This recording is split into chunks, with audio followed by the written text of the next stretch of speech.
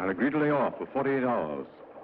But I give you my word, if you don't succeed, I'll come in here, seal every door, place everybody under technical arrest, take fingerprints, conduct a rigid inspection. I don't care if the whole world knows it. There have been six murders committed all in the same circumstances. The evidence points here.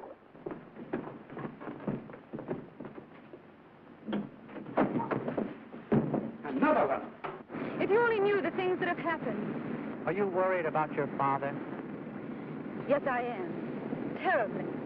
Oh, the only thing I'm concerned about is your safety.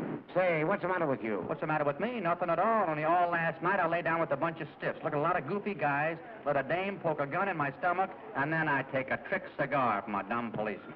It is my theory that one of us in the past, from dire necessity, was driven to cannibalism. The memory of that act was hammered like a nail into the mind of that man. Shrewd and brilliant.